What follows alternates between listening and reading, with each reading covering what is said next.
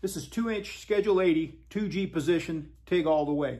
Here's the basic fit up. It's 2-inch Schedule 80, 35 degree bevels, 8th inch gap. Got four tacks on this thing. Sometimes you might be able to get away with less.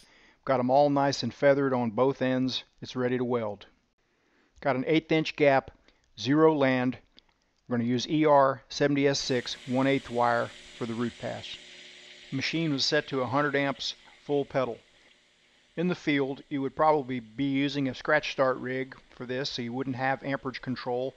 But we're using a foot pedal just because we just got off an aluminum video and we're just kind of pressed for time to get this one done. And so we took a few shortcuts. Another shortcut is if we've got it set up on a positioner here. And a lot of it is run without the positioner running, but sometimes for arc shots, it makes it a lot easier to run the positioner so that the camera can stay focused on the arc. ER70S6 filler makes a big difference on a joint like this. It seems to flow into that root a whole lot better than S2. If you have the choice for open roots, I highly suggest going with S6. A 1 8 gap, a 1 8 rod, and about 100 amps seems to do the job really nicely. We're using a number 5 cup and about 15 to 20 CFH of argon for this for the root pass. When you're using a number 5 cup on an open root pass, you've got to be careful not to have too much argon flowing. It can definitely set up a Venturi effect and you can get some porosity. But about 15 CFH works pretty good on a number 5 cup. We'll switch over to a larger cup for the fill and the cover pass. You could probably go a good 10 to 20 amps hotter on this root pass, but at this heat, at 100 amps, you can just kind of take your time and just bear down on the tip of that rod with the tip of the electrode. Move nice and easy, nice and slow. And it's not hot enough to where it wants to keyhole out with you where you have to jam rod in there to fill up a gap or anything like that. This root probably takes less than five minutes to put in even at this slow rate, so there's no point in getting in a hurry. We're not really worried about what the root looks like from the outside. The inside is much more important. So before the hot pass, we'll wire brush the root and let it cool for just a minute or two.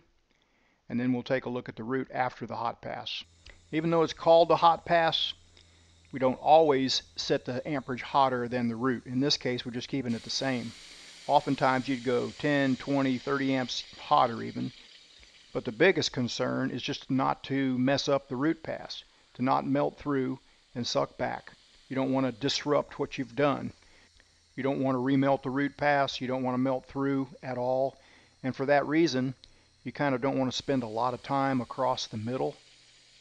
You don't want to jump from side to side, but you want to kind of move quickly across the middle, keep the rod in the puddle, and don't hang around in one place too long. Just keep moving. This is my good friend Andrew Cardin doing the welding today, and I'm running the camera. Andrew came for a visit, and we were able to film a few videos, and this is one of them. We did some other stuff like aluminum. We did a 5F aluminum tube to plate, a 5F 7018 tube to plate, a 6G test like this, and some more stuff. Okay, here's the root pass. When I worked for the Boilermakers in a fab shop, this is about what they wanted. They didn't want a lot of reinforcement on the inside. In fact, they would blow a ball through these joints to make sure you didn't have too much. This is above flush. It's tied in. This is what they wanted at the places I worked. Some places might want more.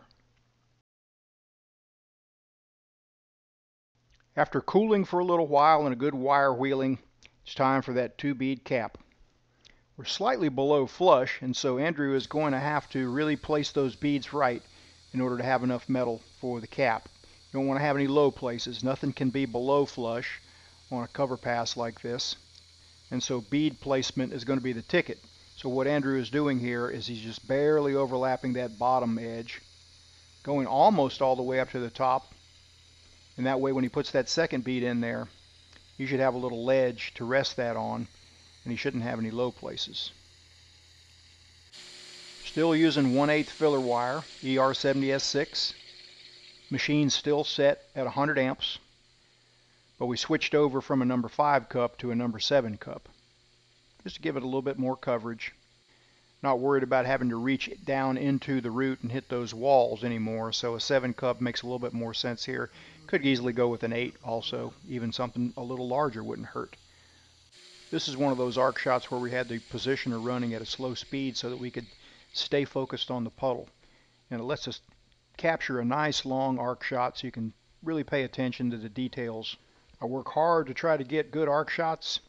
The reason I do that is that I know that it makes a video a lot more instructive. Let's do a quick wire wheeling of this before that very last bead. I like to use a drill motor with a wire wheel like this because it doesn't sling wire. With that slow RPM, you don't have to worry about slinging a piece of wire into your nose or your eyeball or something like that. All right, here comes the last bead on this two bead cap. Andrews Rock Steady. Still using the 1 8 ER70S6, still at 100 amps. And we've got the positioner going at a slow speed for capturing this arc shot too. Andrew's trying to just overlap the top edge of that hot pass while trying to come down evenly over that previous bead.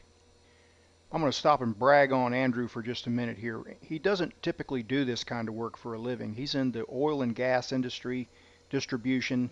Most everything he does is downhill 60-10, 70-10, 80-10 but he practiced and trained so much for world skills competitions that when you throw him on something like this, even if he hadn't done it in a year or two, he jumps right on it, and you would never know he hasn't done one of these in years. Andrew's a beast, a good man, and I'm glad he's my friend. All right, winding down here, the very end of that second bead. Let's take a look at this thing and I'll list all the details and settings on a slide at the very end here in just a few seconds. I think the 6G video will have posted by the time I post this, so I'll link it up about right here. And the settings and details are coming up. 2 inch Schedule 80 pipe, 35 degree bevels, 8th inch gap, 8th inch ER70S6 filler wire, set on 100 amps for the whole thing with the CK MT200.